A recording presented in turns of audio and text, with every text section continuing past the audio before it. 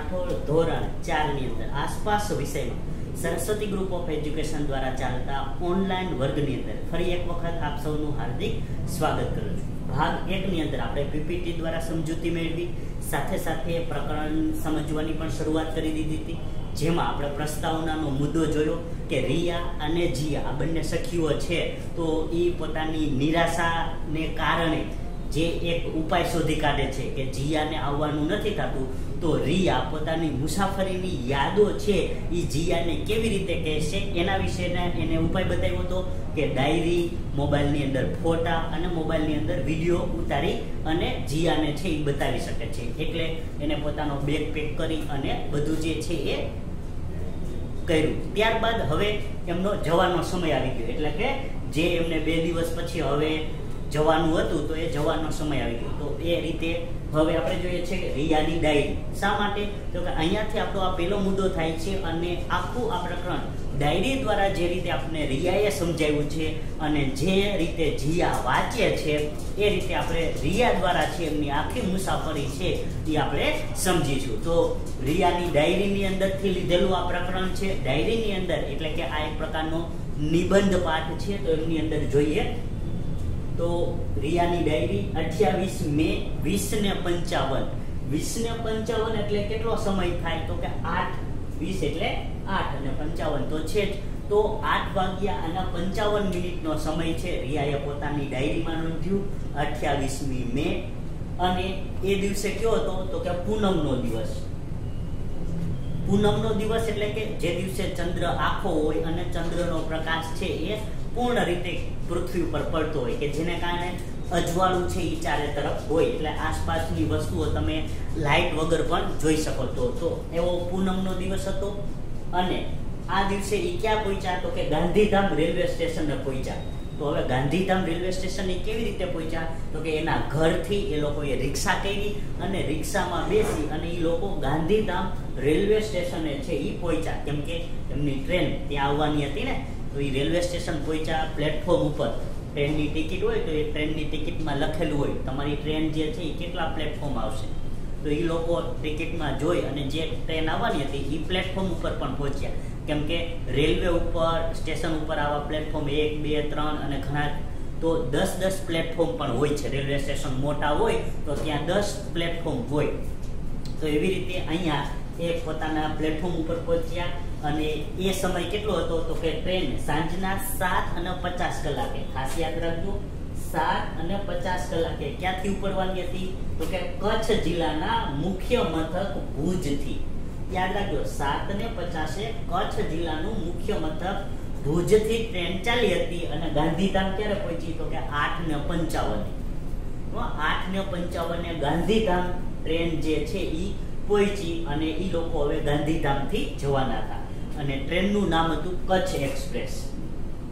ખાસ યાદ રાખજો, ટ્રેનનું નામ હતું કચ્છ એક્સપ્રેસ. કેમ કે બસમાં જેમ બોર્ડ હોય ને જવું છે આપણે તો, જેમ રાજકોટ, અમદાવાદ, પછી ગાંધીધામ, ગાંધીનગર, તો બસની અંદર બોર્ડ હોય. ભાઈ રાજકોટથી સુરત, સુરતથી પાછું રાજકોટ, એટલે રાજકોટ, સુરત, રાજકોટ. લખેલું હોય ને બસની અંદર, એસટી બસની અંદર. તો જેમ બસમાં બોર્ડ હોય, એમ ટ્રેનમાં બોર્ડ નથી હોતું, પણ ટ્રેનનું નામ હોય. તો રિયા જે ટ્રેનની અંદર જવાના હતા એ ટ્રેનનું નામ હતું કચ્છ એક્સપ્રેસ. કોઈ કચ્છ એક્સપ્રેસની અંદર છે એ જવાના હતા. પછી ઘણા બધા બીજા ટ્રેનના નામ તમને જણાવી દઉં. તો કે જમ્મુ તાવી, પછી હાવડા, કોલકાતા, મુર્શિદાબાદ, હાવડા. તો આવા ઘણા બધા ટ્રેનોના છે એ નામ રહેલા હોય. અને એમની અંદર પણ લોકલ અને એક્સપ્રેસ ટ્રેન હોય. કેમ કે લોકલ હોય તો બધા સ્ટેશનો લેતી જાય અને એક્સપ્રેસ હોય તો એ નોન સ્ટોપ હોય. એક સ્ટેશનથી ડાયરેક્ટ જે છેલ્લું એમનું જવાનું સ્ટેશન હોય ત્યાં સુધી. એને જ કહેવાય નોન સ્ટોપ તો આ રીતે ટ્રેનની અંદર પણ, અને જો અહીંયા એટલે જ લખેલું છે, કચ્છ એક્સપ્રેસ. તો આ ટ્રેનનું નામ હતું અને એ ટ્રેનની અંદર બે દરવાજા હોય. આપણને ખબર છે, એક ડબ્બો હોય તો એમાં બે દરવાજા હોય. પણ અહીંયા એ જાય છે તો પ્લેટફોર્મ જોવે છે કે બધા લોકો છે એ એક જ દરવાજેથી ઉતરતા હતા અને એક જ દરવાજેથી ચડતા હતા. હવે એક જ દરવાજેથી ઉતરે અને ચડે તો શું થાય?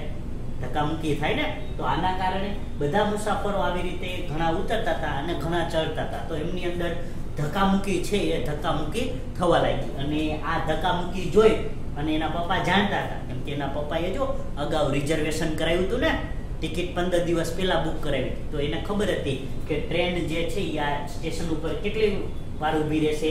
તો કે એને ખબર હતી પંદરથી વીસ મિનિટ છે એ ટ્રેન અહીંયા ઊભી રહેશે. તો એના કારણે એના પપ્પાએ કીધું કે આપણે ધક્કામુક્કી કરવાની કાંઈ જરૂર છે નહીં. જો જે લોકોએ ટ્રેનની ટિકિટ ઓન ધ સ્પોટ લીધી હોય તો એને જગ્યા ન મળે, એને ઊભા રહીને જવું પડે. અને કદાચ જો એમાં બુકિંગ ન થયું હોય તો તમને જગ્યા પણ મળી જાય. તો આના કારણે એ લોકોએ રિઝર્વેશન કરેલું હતું, એટલે એ ભલે પાછળ ચડે, પણ એને તો સીટ તો બુકિંગ જ હતી. એટલે કે આપણે પંદર વીસ મિનિટ ઊભી રહેશે તો આપણે થોડી વાર પછી ચડીશું અને જો તમે રેલવે સ્ટેશન ગયા હોય તો તમે આવું જોયું હોય કે ત્યારે બધા લોકો છે એ આ રીતે ધક્કામુક્કી કરીને ચડતા હોય. કેમ કે ટ્રેન દરેક સ્ટેશનોએ પંદર વીસ મિનિટ ન ઊભી રહેતી ઘણા સ્ટેશનોએ પાંચ મિનિટ જ ટ્રેન માત્ર ઊભી રહેતી હોય. તો ત્યાં લોકો ચડવા અને ઉતરવામાં ઝડપ કરવી પડે. પછી જો તમે ઉતરા નહીં તો ટ્રેન તો વહી જવાની છે તમારી રાહ જોવાની નથી. એનો પાંચ મિનિટનો ટાઈમ પૂરો થઈ ગયો એટલે ટ્રેન પાછી ચાલવા માંડી. એટલે અહીંયા એટલા માટે લોકો ઉતરવા અને ચડવામાં ધક્કામુક્કી કરી રહ્યા હતા. પરંતુ રિયાના પપ્પા એમને શાંતિથી ચડવાનું કહે છે, કેમ કે ઉતાવળ કરવાની જરૂર નથી. ટ્રેન પંદર વીસ મિનિટ ઊભી રહેશે અને આ રીતે એ લોકો હવે પંદર વીસ મિનિટમાં ટ્રેનમાં ચડી ગયા. એ પોતાનો ડબ્બો જે ડબ્બામાં એને જગ્યા મળી હતી ત્યાં પહોંચી જાય છે, એ પોતાની સીટ ઉપર નીચે એને સીટ મળેલી હતી. એક ડબ્બો હોય ને, તો એક ડબ્બામાં ઉપર નીચે સીટ હોય. તો એમને ઉપર નીચે સીટ મળેલી હતી, તો રિયા અને એના મમ્મીને બંનેને ક્યાં જગ્યા મળી? તો કે બંનેને બારી પાસે જગ્યા મળી. જો બારી પાસે બે કોઈ ખબર હતી. આપણે અત્યારે તમે નાના રહ્યા તો તમને બારી પાસે બેસવાનો શોખ હોય, કેમ કે બારી બાર બધી જોવું હોય ને. તો અહીંયા રિયા એને પણ બારીની બહાર જોવું હતું. તો રિયાને અને એના મમ્મીને બારી પાસેની બેઠક મળી. ઘણા એ લોકોને છે એ મોટા લોકો હોય ને એ બારી પાસે બેસે. શું કામ તો કે એને ચક્કર આવે કે ઉલટી થતી હોય. ટ્રેનમાં બેસે ને તો એના કારણે આવું થતું હોય. તો ચક્કર આવે કે ઉલટી થાય તો એ બારી પાસે બેસે. એટલે શું છે? ઉલટી બહાર કરે. એટલે આના કારણે રિયાના મમ્મી છે એ પણ બારી પાસે એમને બેઠક મળેલી હતી. તો આ રીતે એ ટ્રેનમાં બેસી ગયા. અને એ ટ્રેનની અંદર બેઠા હતા તો ટ્રેનમાં સામે સામે સીટ હોય કે આ બાજુની સીટ રિયાને એના પરિવારને મળી હતી ઉપર નીચે. તો એવી જ રીતે ડબ્બામાં બીજી સાઈડ એટલે કે એક જ ડબ્બામાં બીજી સીટ છે એ બીજા એક પરિવારને મળી. હતી એટલે કે જેમ રિયાનું કુટુંબ છે એ ટ્રેનની મુસાફરી દરમિયાન જઈ રહ્યું હતું, તો બીજું કુટુંબ પણ છે એ મુસાફરી માટે જઈ રહ્યું હતું. એને પણ આ રિયાના ડબ્બાની અંદર જ સીટ છે એ મળેલી હતી. અને એ કુટુંબ પણ અહીંયા ગોઠવાઈ ગયું. એટલે કે ટ્રેનમાં પોતાની સીટ ઉપર સામાન રાખી દીધો, સીટની નીચે એ બધા બેસી ગયા. અને એ કુટુંબમાં પણ રિયા અને એનો ભાઈ હતો, એવડી જ ઉંમરના બે બાળકો છે. એ બે બાળકો બીજા તો અમારી ઉંમરના, એટલે કે રિયા અને એના ભાઈની ઉંમરના જ બીજા બે બાળકો આ સામેના પરિવારમાં પણ રહેલા હતા. અને એ પણ આ રીતે ટ્રેનની અંદર ચડી ગયા અને ટ્રેન ચાલુ થઈ ગઈ. અને થોડા સમય પછી છે એ ટ્રેનની અંદર આવે છે, ટિકિટ ચેકર. હવે ટિકિટ ચેકરને કેવી રીતે તમે ઓળખશો? વિચારો જોઈએ તો કેવી રીતે ટિકિટ ચેકરને ઓળખશો?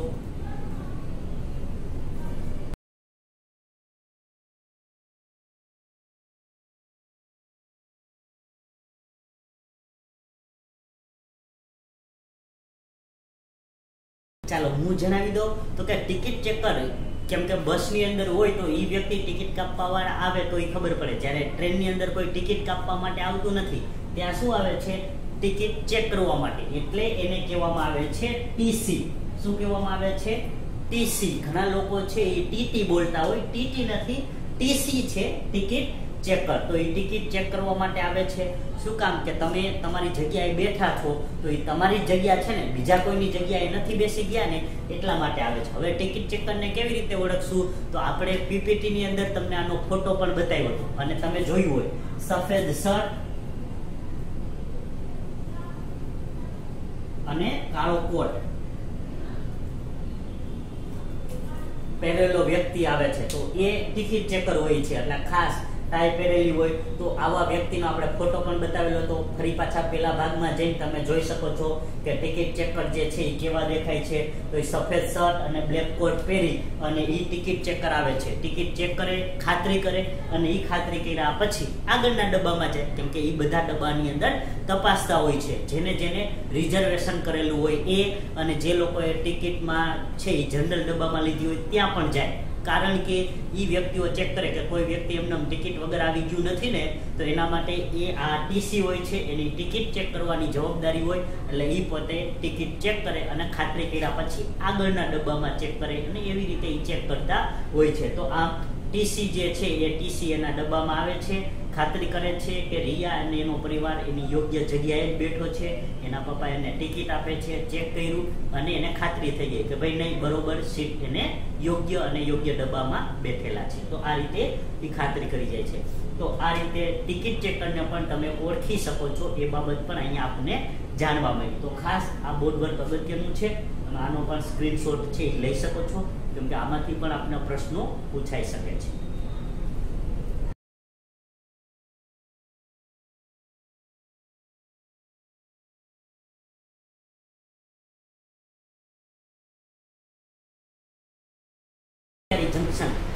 બાવીસ અને પંદર. બાવીસ અને પંદર એટલે કે સવા દસનો સમય. તો હવે સવા દસના સમયે જે છે એમની ટ્રેન આગળ પહોંચી ગઈ હોય છે કઈ જગ્યાએ? તો કે સામખિયાળી જંકશન. એટલે કે એની ટ્રેન જે છે એ હવે એકાદ કલાક ચાલી એટલે કે લાસ્ટની અંદર આપણે પુલ વિશે વાત કરી રહ્યા હતા કે જે જગ્યાએથી જંકશન છે એ ત્યાં પહોંચી. કચ્છ એક્સપ્રેસ તો એની ટ્રેન એકાદ કલાક ચાલ્યા બાદ આગળના જે સ્ટેશને જે છે, એટલે કે ગાંધીધામ પછીનું જે સ્ટેશન છે તો એને બારી બહારથી છે એ જોયું.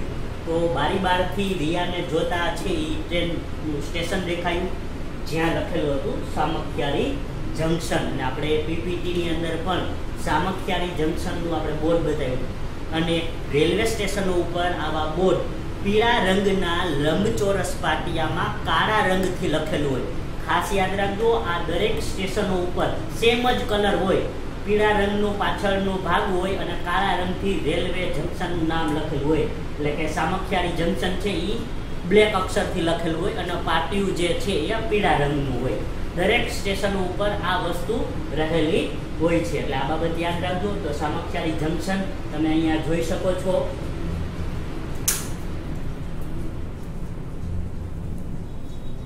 અને સામખિયાળી જંકશન જે છે એ શા માટે લખેલું હોય? એટલે કે આપણો અહીંયા પ્રશ્ન એ થાય કે જંકશન છે એ શા માટે લખેલું હોય?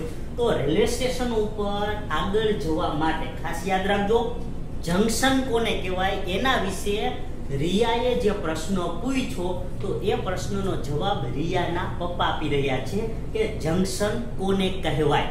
ખાસ વિદ્યાર્થી મિત્રો, તમે પણ યાદ રાખજો. તો કે જે રેલવે સ્ટેશનથી આગળ જવા માટે બે કે એનાથી વધારે. જો બે કે એનાથી વધારે રેલ માર્ગ છે એ રેલ માર્ગ છૂટા પડતા હોય, તો તેવા રેલવે સ્ટેશનને જંકશન કહેવાય. અહીંયા આ જંકશનની વ્યાખ્યા થઈ. તમને પૂછવામાં આવે જંકશન કોને કહેવાય? તો આ વ્યાખ્યા લખવાની છે કે જે રેલવે સ્ટેશનથી આગળ જવા માટે બે કે તેથી વધારે રેલમાર્ગ છૂટા પડતા હોય, તો તેવા રેલવે સ્ટેશનને જંકશન કહેવાય. સમજાણું? ત્યાંથી એ સ્ટેશન ઉપરથી બે સાઈડ તરફ જવાના રસ્તા હોય તો એમને જંકશન કહેવામાં આવે છે. બેથી વધારે હોય. કોઈ જગ્યાએ તમે જુઓ તો એ રેલવે જંકશન ઉપરથી પાંચ જગ્યાએ જવાના રસ્તા, એટલે કે પાંચ સ્ટેશન તરફ જવાના રસ્તા છે એ અલગ થતા હોય. તો આવા રેલવે જંકશનો રહેલા હોય. અને આ રેલવે જંકશન એટલે કે સામખિયાળીથી પણ બે માર્ગ છૂટા પડતા હતા. એ બે માર્ગ ક્યાં હતા? તો કે એક અમદાવાદ તરફ જવાનો અને બીજો જે છે એ પાલનપુર તરફ જવાનો. જો ત્યાંથી બે રસ્તા છૂટા પડતા હતા, અમદાવાદ તરફ જવાનો અને પાલનપુર તરફ જવાના બે રસ્તા છે એ છૂટા પડતા હતા એટલે એ જંકશન કહેવાય. અને હવે એની ટ્રેન હજી પણ ત્યાંથી આગળ ચાલે છે. બે ત્રણ મિનિટ ટ્રેન આગળ ચાલી ત્યાં શું થયું? તો કે ટ્રેન ઉપરતા એમને જોયું કે અહીંયાથી માર્ગ છૂટા પડતા હતા. એટલે કે અમદાવાદ અને પાલનપુર જવાના જે માર્ગ છૂટા પડતા હતા એ એમને દેખાયા. કેમ કે એની ટ્રેન એક તરફ જાય, તો બીજી તરફ ટ્રેનનો પાટો દેખાતો હોય ને, તો આમ છૂટા પડતા એમને જોયું. અને એ બતાવ્યું હતું એના પપ્પાએ કે જો અહીંયાથી આ બે માર્ગ છૂટા પડ્યા, એટલે આ જંકશન કહેવાય. પછી ટ્રેન હવે થોડી આગળ નીકળી ગઈ ત્યાંથી અને ત્યાંથી આગળ નીકળતા. હવે રિયાની નજર ક્યાં જાય છે? તો કે રિયાની નજર પૂનમનો ચંદ્ર. જો આપણે જોયું હતું કે રિયાને નીકળ્યા તો ત્યારે પૂનમની રાત હતી. તો પૂનમની રાત હોય, આખો ચંદ્ર હોય તો એનો પ્રકાશ વધારે હોય ને? તો પૂનમના ચંદ્રમાના પ્રકાશમાં ખુલ્લા મેદાનમાં સફેદ ચાદર. ખાસ યાદ રાખજો. ખુલ્લું મેદાન દેખાતું હોય અને એમાં સફેદ ચાદર પાથરી હોય, એવું એને દૂર દૂર સુધી, એટલે કે એમની જ્યાં સુધી નજર ગઈ, તો દૂર દૂર સુધી એવું દેખાતું હતું કે જાણે ખુલ્લા મેદાનમાં સફેદ ચાદર જે છે એ પાથરી હોય. પણ એ બરફની નથી શેની હતી? એ આપણે આગળ જવાબ દઈ. તો કે આ જે ભાગ એમને દેખાયો, એ હતું કચ્છનું નાનું રણ. ખાસ યાદ રાખજો, સફેદ ચાદર જેવો જે ભાગ એમને દેખાયો, એ હતું કચ્છનું નાનું રણ. તો કચ્છના નાના રણમાં આખું સફેદ રણ તરીકે ઓળખાય છે. અને આ સફેદ શું હોય છે એના વિશે જાણી દો તો કે જમીન ઉપર જામેલો મીઠાનો થર. તો આપણે મીઠું જોયું છે ને, સફેદ હોય. તો ત્યાં જમીન ઉપર આ મીઠાનો થર છે એ જામેલો હતો. અને ખાસ અગરિયા. હવે વિચારો જોઈએ, અગરિયા કોને કહેવાય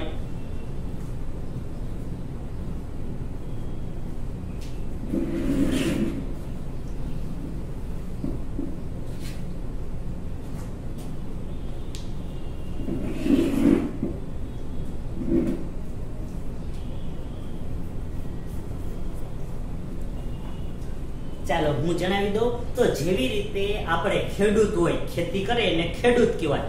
એવી જ રીતે સમુદ્રની અંદર જે વ્યક્તિ મીઠું પકવે સાગર ખેડુ કહીએ છીએ તો એ સાગર ખેડૂને બીજા અગરિયા તરીકે ઓળખવામાં આવે છે અને આ અગરિયા વ્યક્તિ મીઠાના અગર બનાવે. અગર એટલે ઢગલા. અગર એટલે ઢગલા. મીઠાના છે ઢગલા બનાવી અને પછી મીઠું પકવે છે એટલે કે અગર પાણીમાં ચોરસ જે છે એ ક્યારા બનાવે, સમુદ્રનું પાણી એમાં મોજા થકી આવે, સૂર્યનો પ્રકાશ છે એમના ઉપર પડે અને સૂર્યના પ્રકાશથી પાણીનું બાષ્પીભવન થઈ જાય અને હવે જે ભાગ વધેલો હોય એ હોય મીઠું. તો આવા મીઠાના આવા ચોરસ, લંબચોરસ અગર બનાવી, પછી એ મીઠાને આખો એક ઢગલો બનાવે. તો આ રીતે એ લોકો મીઠું પકવતા હોય છે. તો એમને અગરિયા કહેવાય. શું કહેવાય એમને? અગરિયા.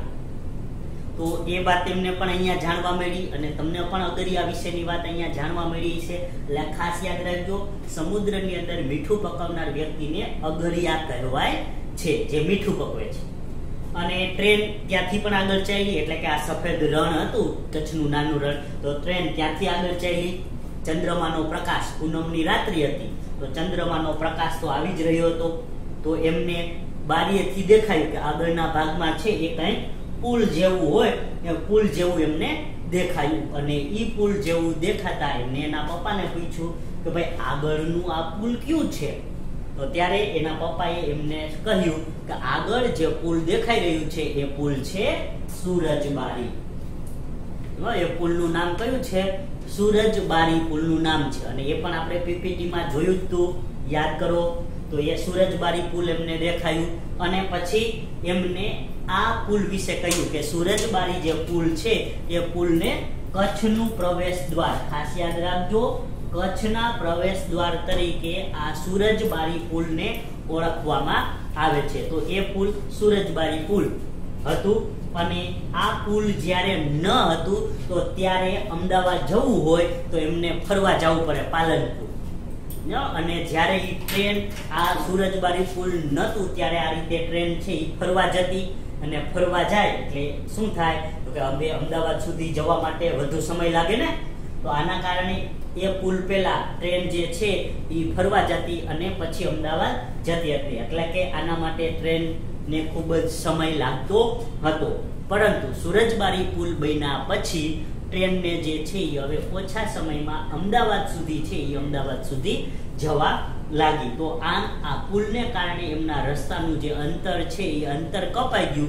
એના વિશે એના પપ્પાને, પપ્પાએ જે છે એ રિયાને જણાવ્યું. અને આ રીતે સુરજબારી પુલની વિશેષતા છે એ રહેલી છે. એટલે બંને યાદ રાખજો. ફરી પાછું કહી દઉં. સુરજબારી પુલ કચ્છનું પ્રવેશ દ્વાર નહોતું, તો ત્યારે એ સમય દરમિયાન ફરવા જવું પડતું હતું, પાલનપુર સુધી અને પછી જતું. તો આના કારણે સમય વધારે લાગતો હતો. આ પુલને કારણે સમય ઓછો થયો. તો આમ આ સુરજબારી પુલની વિશેષતા રહેલી છે. તો આમની અંદર પણ આપણે અગત્યની અમુક બાબતો છે. તો તમે આનો પણ સ્ક્રીનશોટ લઈ શકો છો અથવા તમે છે નજર ફેરવી શકો છો. બે સેકન્ડ આપું છું